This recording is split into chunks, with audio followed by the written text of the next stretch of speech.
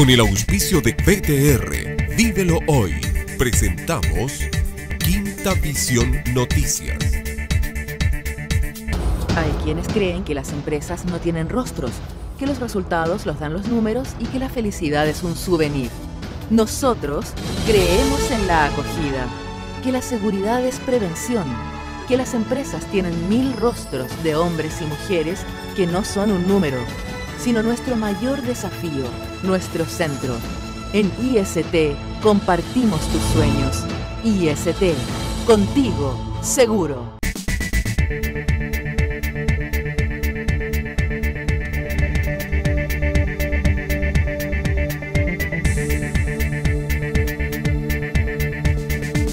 Sistema frontal marcó inicio de invierno en nuestra región.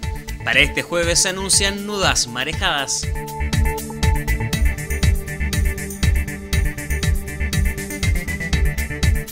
Médico infectólogo señaló que pese a baja en algunos índices, se deben mantener medidas preventivas por el COVID.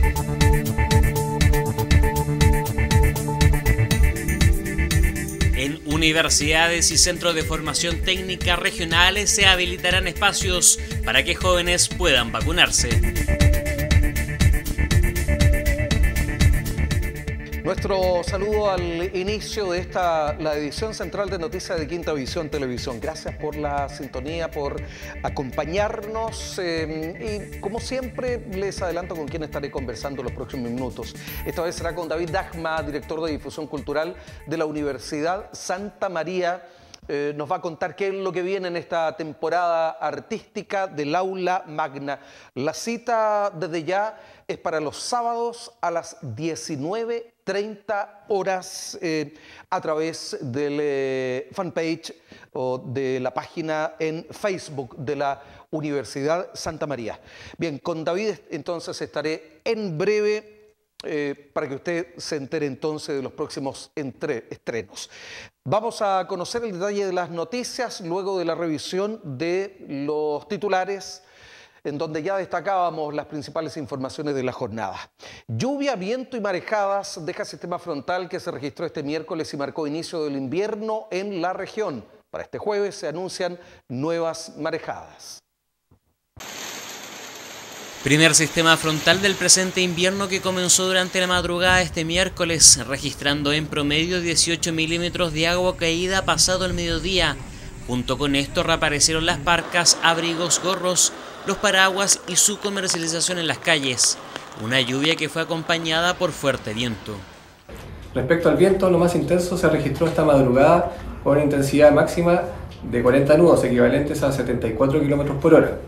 Por su parte, han caído hasta ahora 8 milímetros y se espera que el resto de la jornada totalicemos entre 15 a 20 milímetros en el sector de Valparaíso. En el mar, el enérgico oleaje con rompiente en el borde costero entre las provincias de Valparaíso y San Antonio evidenció el último aviso número 20 de marejadas que se mantendrá hasta este miércoles, pero que no se descarta que el fenómeno continúe durante los próximos días. Y aparte con un aviso de marejada que dura hasta el día domingo. En este momento estamos con condición de puerto cerrado, tanto en la bahía de Quintero como eh, todas las faenas eh, portuarias y en los terminales marítimos. También eh, están finalizadas o están paradas todas las actividades pesqueras y las actividades en, en todo el borde costero, desde Concón hasta los muelles. Pero con el término de las precipitaciones regresarán las frías mañanas y noches. De hecho, la Dirección Meteorológica de Chile informó una alerta de heladas entre este jueves y sábado, con temperaturas mínimas que bordearán entre los menos 1 y menos 2 grados en el interior de la región, que golpeará nuevamente a los sectores perjudicados por la escasez hídrica. Médico infectólogo doctor Rodrigo Cruz señaló que pese a baja en algunos índices de contagio y positividad de COVID-19 en la región, se deben mantener medidas preventivas por la pandemia.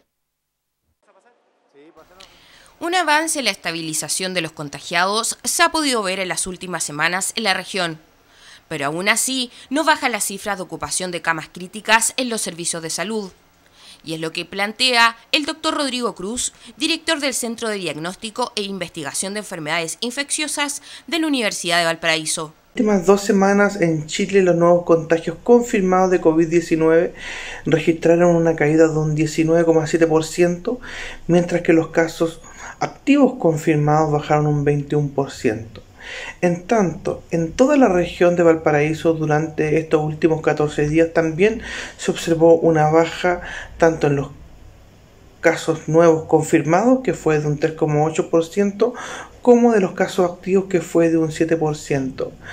Lentamente hemos empezado a observar una ralentización de la pandemia, tanto en nuestra región como en Chile durante las últimas dos semanas. Sin embargo, aún la ocupación de camas críticas es muy alta, la ocupación de camas no críticas también lo es. El número de consultas aún sigue siendo también muy alto tanto en nuestra región como en todo el país, por lo tanto, las recomendaciones es a que debemos seguir utilizando todos los equipos de protección personal tanto en los trabajos, en los hospitales como en la comunidad en general. Por lo que el llamado es a no bajar las medidas de seguridad. Dentro de estos equipos de protección personal, el uso de mascarilla debe seguir siendo obligatorio por el bien de cada uno de los miembros de nuestra familia. Por otra parte, la vacunación debe, debe seguir aumentando en, en nuestra región y también en nuestro país.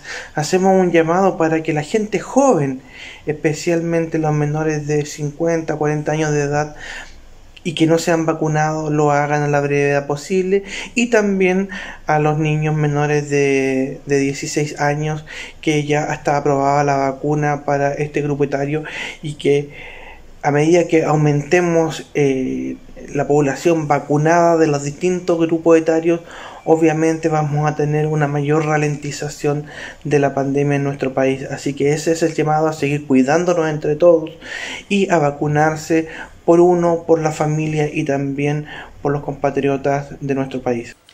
La importancia de la vacunación en toda la población es vital para conseguir un punto de apoyo para que las personas contagiadas no lleguen a camas críticas. Este plan en Chile está a puertas de lograr la meta del 80% de personas inoculadas con al menos una dosis. Y ya hay más de un 60% vacunadas con ambas dosis. Y a propósito, el avance del coronavirus en el país y en la región de Valparaíso primeramente. 247 son los nuevos casos acumulados a la fecha, 111.663, 3.120 son los casos activos. Afortunadamente no tenemos que lamentar muertes eh, a raíz del COVID-19 acumulados a la fecha, llevan 2.832 decesos. En el país 2.768 son los nuevos casos acumulados a la fecha, 1.528.409. 32.507 son los casos activos, 56 son los eh, fallecidos y los acumulados eh, o la suma total de muertos eh, a raíz del o a causa del coronavirus, 31.690 en el territorio nacional desde el inicio eh, hasta las últimas horas. Este jueves 24 de junio corresponderá la primera dosis de vacuna para personas de 18 años. Además, adolescentes entre 12 y 17 con comorbilidades específicas, centros de Sename, centros colaboradores de Sename y centros de atención de salud mental. También se vacunará a mujeres embarazadas a partir de las 16 semanas de edad gestacional.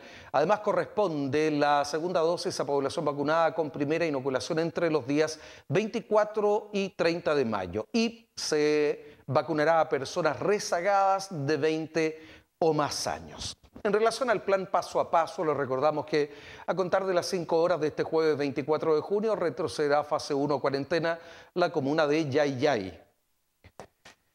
Bien, otras noticias. En universidades y centros de formación técnica regionales se habilitarán espacios para que jóvenes puedan vacunarse. Como una medida para fomentar la vacunación en los jóvenes, instituciones estudiantiles de educación superior como la Pontificia Universidad Católica de Valparaíso establecieron un acuerdo de colaboración con las Seremías de Salud para conseguir la gran anhelada y anunciada por la autoridad sanitaria inmunización de rebaño. Tienen que ver la oportunidad para poder salir, para que todos ya tengamos una vida normal. Es muy necesario que ya estemos todos vacunados. Así que no, primordial. Lo primero que tienen que hacer apenas eh, digan que se puede según su edad, ya ir a vacunarse. Si bien es como una pérdida de tiempo porque todos tenemos cosas que hacer, eh, esto es como ya un bien mayor. Es que en cierta forma te proteges a ti mismo porque no proteges a nadie más. La vacuna te protege a ti de que el resfriado, del resfriado en sí. No, no proteges a, nadie más. Lo que sí genera, en cierta forma, eh, contribuyes a, que, a no ser uno más de las personas que están críticas en los hospitales. A nivel regional, el 69% de la población cuenta con su esquema completo de inoculación, siendo una de las zonas con mayor cantidad de personas inyectadas contra el coronavirus, un proceso que avanza a ritmo cansino en este grupo etario debido a la falta de interés y recelo ante la efectividad de las dosis. Lo que está ocurriendo acá en esta sede universitaria eh, es una cuestión importante para los jóvenes de la región para la institución de educación superior de la región, eh, pero también eh, hay un espacio de vacunación con horario reservado en Viña del Mar. Por lo tanto, está ocurriendo en simultáneo, ¿no es cierto?, el proceso en esta sede universitaria y también en el vacunatorio del Estadio Sausalito, cosa que es bastante importante porque nos permite, ¿no es cierto?, llegar a esa población joven, algunos de ellos rezagados respecto a su primera dosis. Vamos bien, pero nos faltan estos grupos de jóvenes que ustedes han visto que en un día lluvioso han venido conforme a lo programado a la Pontificia Universidad Católica de Valparaíso y damos las gracias a su rector por haber sido un motor, igual que todas las universidades e instituciones de educación superior de la región que han hecho prestado una colaboración enorme en que este proceso se pueda llevar a cabo en la región. Hemos visto durante la última semana, después de un, incremento de casos, una, una tendencia a la baja, lo cual nos tiene muy optimistas. Eso nos ha hecho reforzarse esta estrategia que nos ha dado el resultado esperado, pero sin lugar a dudas tenemos que seguir avanzando. A esta semana iniciamos con la vacunación de los adolescentes de los 12 a 17 años, ya son alrededor de 148 mil adolescentes que están, de acuerdo a nuestra cobertura, poder lograr. Diez instituciones entre universidades y centros de formación técnica contarán con espacios para que sus alumnos se vacunen, lo que está comprobado que reduce la posibilidad de utilizar una cama crítica UCI en un recinto médico. Estoy con eh, David Dagma, director de difusión cultural de la Universidad Santa María, y director también de la radio de la Universidad, esta eh, Casa de Estudios Universitaria partner en una serie de iniciativas. Por cierto, quiero saludar. Amigo, ¿cómo está? ¿Qué tal, Carlos? Un agrado estar nuevamente con ustedes. Los había extrañado. Bueno, nos vimos, no, no, no me desconozca, nos vimos el sábado a las 19, bueno, no nos vimos, pero eh, usted sintió y me hizo el comentario, crujir el envoltorio de los caramelos cuando estábamos tomando ubicación para el streaming, ¿no es cierto?, de los habituales sábados 19.30. Así es, así es. Esas conversaciones virtuales son muy entretenidas. Vi que entraste, te sentaste en el A17 y A18 con tu señora, y yo estaba en mi habitual A10, A16. Pero bueno, es una experiencia muy interesante. Sí, me, me, generó, me generó una, una situación muy, eh, muy, muy simpática, eh, porque claro, uno piensa que eso no se da. Pero bueno, esta es la manera hoy día de disfrutar de la cultura y qué mejor es eh, lo que se viene para este 26 y quiero que nos, nos pases a contar entonces algunos detalles, David. Bueno, como tú bien lo señalas, ha sido una temporada muy exitosa. El sábado pasado, bueno, tuviste ese concierto maravilloso de zarzuela, que es una cosa increíble, increíble.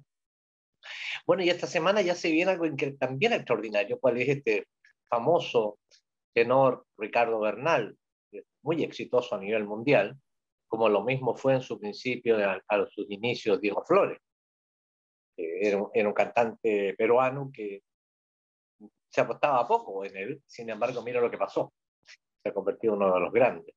Bueno, Ricardo Bernal presenta un concierto extraordinario, acompañado por un gran pianista que yo contraté para esa ocasión, que es Jorge Evia. Jorge Evia es un, pianista acompañante espectacular para, para cantantes líricos, que tú sabes que es una especialidad. No, es un pianista de concierto, es un pianista acompañante, como lo es también Svetlana Kotova y tantas otras, y otros. Bueno, y presento un, un programa con áreas eh, tanto de ópera, opereta, zarzuela, canzoneta y también eh, obras eh, populares como Granada, el Ayayay, entre tantos otros, pero está Nelson Norma, sin duda, obras del Bardero de Sevilla, entre tantos. Es un concierto muy lindo, muy lindo el que dio Ricardo Bernal eh, tiempo atrás, esto fue el año 2013. Y posteriormente viene otro gran concierto, que fue un concierto eh, con la Orquesta de Cámara de Chile, dirigida por Juan Pablo Izquierdo. Eso ya es un el 3 de julio. 3 de julio. El 3 de julio. Y ese fue un concierto, fíjate, de un programa especial que tenía de ciudadanía, que tenía el Consejo Nacional de la Cultura. Y en esa oportunidad eh, participó una de las grandes cantantes que tiene nuestro país, la Nora Miranda. Nora Miranda es una soprano extraordinaria, quien va a interpretar las canciones castellanas de Correjo Salas y también participa en el Idilio de Sigfrido de Wagner. Bueno, y ese, y ese programa tiene una obra fundamental, que es la Sinfonía número 3 de Mozart, que es una sinfonía realmente bellísima. Eso para ir avanzando, esto fue el día 3 de julio, y ahí saltamos. ¿Algo me quieres preguntar? Así, al 10. Quería preguntarte, porque yo me conecto, y, y tú lo sabes, todos los sábados a las 19.30 horas de manera religiosa. Pero eh, me surge esta inquietud, esta duda. Claro, es a través de Facebook, del fanpage de, de, la universidad. No hay ninguna posibilidad de ir a eh, una especie de biblioteca audiovisual para poder volver a reproducir. Si no es así, entonces no hay que perderse la cita de los sábados a las 19.30. Mira, es, tú puedes eh, ver este concierto, si por alguna razón no llegaste, durante toda la próxima semana completa. Ya. Completa, está disponible y te digo, la audiencia crece de una forma increíble. Finalizado el concierto, terminamos normalmente con 1.100, 1.200 personas y después durante la semana llega a 5.000, 7.000 gente que ha visto el, concierto. Lo que es una cantidad tremenda si tú piensas que la sala a, a tablero vuelto en un concierto son 1.250 personas. Es muy interesante. Ahora, lo, tú, te, tú te has dado cuenta eh, lo, lo, bello de estos conciertos es que la gente interactúa. Sí, Hay críticos que participan. Se incorporan textos que te van dando de alguna manera información de la obra que vas a escuchar. Y por sobre todo lo que me parece más increíble es la audiencia, las audiencias de distintos lugares del mundo, a nivel nacional e internacional, y que agradecen infinitamente, yo creo que porque es la gran calidad, los conciertos son todos extraordinarios, como todo lo que se hace en el teatro, y también que no tienes que pagar, porque tú sabes que la mayoría de los conciertos hoy día vía eh, cualquier plataforma hay que pagar un ticket. ¿ah? Nosotros, la universidad ha dispuesto que estos conciertos no se va a cobrar, y sobre todo también es interesante tener presente, querido Carlos, es la disposición de los artistas. Tú ves conciertos de todas partes del mundo, estamos transmitiendo que se han hecho en nuestro teatro, que conforman parte del patrimonio audiovisual y no hay inconveniente ninguno para su emisión. Bueno, sigamos avanzando. Después nos vamos al día. Porque se nos acaba el tiempo. El 10 de julio, 19.30 horas. Bueno, un dúo ecuatoriano extraordinario donde hay muchísima obra latinoamericana y particularmente rescate del patrimonio eh, ecuatoriano. Y terminamos el mes con un gran concierto con la Orquesta Mundial de Médicos. Tú la debes recordar que fue un concierto muy exitoso que se hizo años atrás. 100 médicos arriba del escenario que viajaron para hacer este gran concierto y lo hicimos en combinación con el Colegio Médico de Valparaíso. Perfecto. Qué, bien. Por lo tanto, entonces, eh, la cita es sábado 19.30. Eh, hay que buscar ahí en Facebook a la Universidad Santa María y eh, se despliega entonces la edición en estreno. Eh, voy a seguir yo ahí. Por favor, resérveme dos asientos, dos butacas eh, y, se lo voy a agradecer, mi estimado amigo. Sí, mejora la calidad de los caramelos. Yo preferiría los chocolatitos. ¿eh? Bueno, voy a seguir su consejo. Gracias, David. Adiós. Un abrazo para ti. Chao. Igual. Saludos por la casa.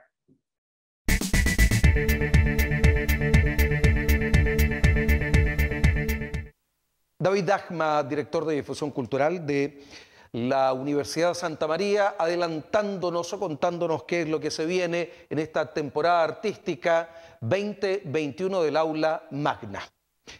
Dirigentes de ferias libres y parlamentarios exigieron al gobierno que se respete lo aprobado en principio para la entrega a todos los feriantes del país del bono de alivio a las pymes y no solo a quienes tienen inicio de actividades, como señaló en los últimos días el ministro de Economía.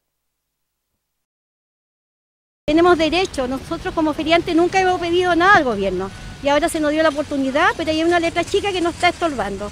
Esperemos que el gobierno recapacite con la ayuda acá de la ministra, de la senadora y todo en conjunto estamos viendo que hoy día haya luz y que el gobierno apruebe lo que se está proponiendo, que todos los feriantes puedan obtener el bono que se nos está ofreciendo. Nosotros como Avenida Argentina se paga una patente y se da inicio a actividades.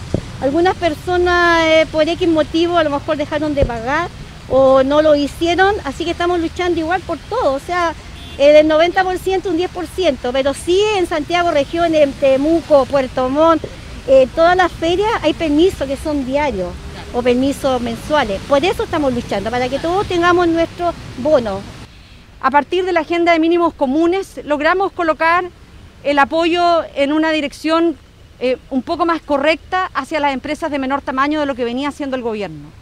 Una indicación de la senadora Adriana Muñoz en el primer trámite legislativo colocó a los representantes de las ferias libres en el centro de también eh, visibilizarlos, porque habían estado ajenos a un conjunto de ayudas. Luego, una indicación también en la Cámara nos permitió afianzar lo que ya era la voluntad que se había expresado a través de la indicación de la senadora Adriana Muñoz. Y tal como lo dice Margarita, la presidenta de la Feria Libre de acá de Valparaíso, la ley se estableció en donde a todos los feriantes con el solo permiso municipal podían acceder a este bono alivio.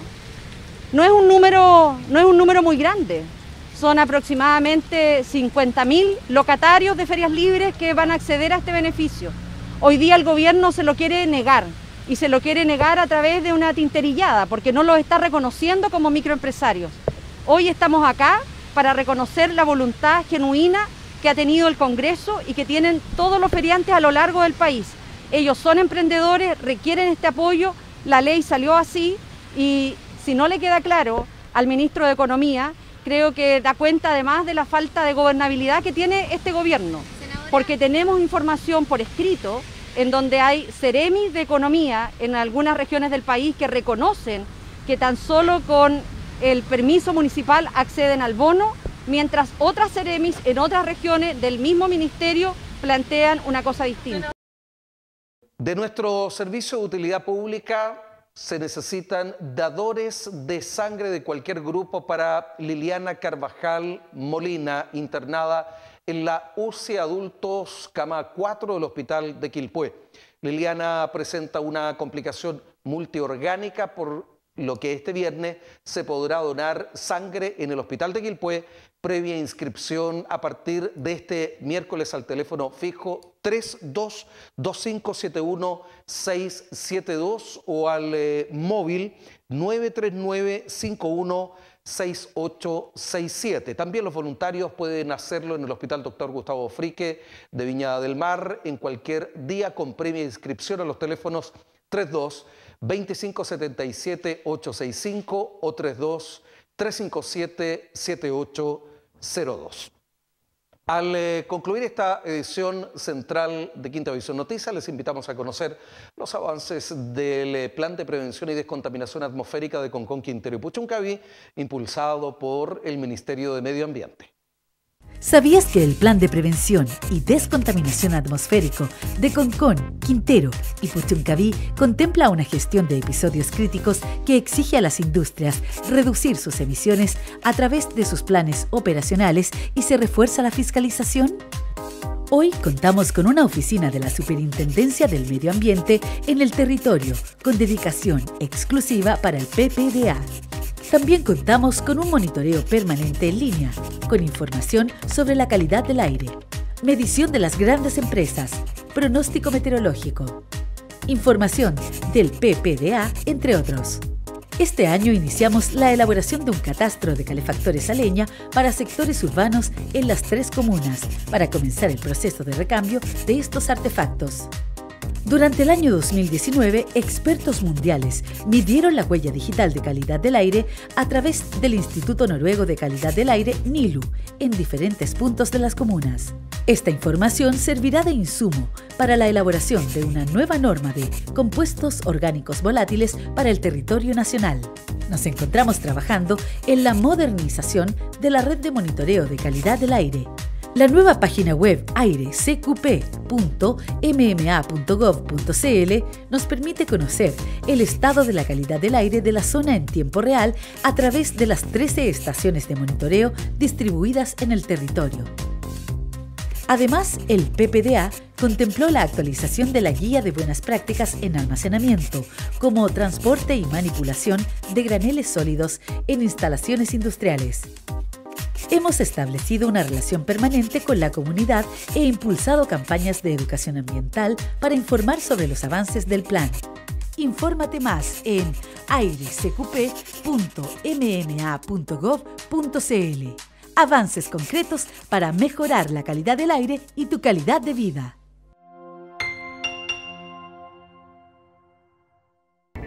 Ya cerramos nuestro trabajo por esta jornada, agradeciendo su sintonía, invitándoles para que puedan conocer, si aún no es así, todos nuestros contenidos programáticos en el portal del canal www.quintavision.cl, como de igual forma en el fanpage Quinta Visión Televisión. Así de fácil nos encuentra. Viene el informe con las condiciones meteorológicas para las próximas horas, como también los indicadores económicos. Es todo. Muchas gracias.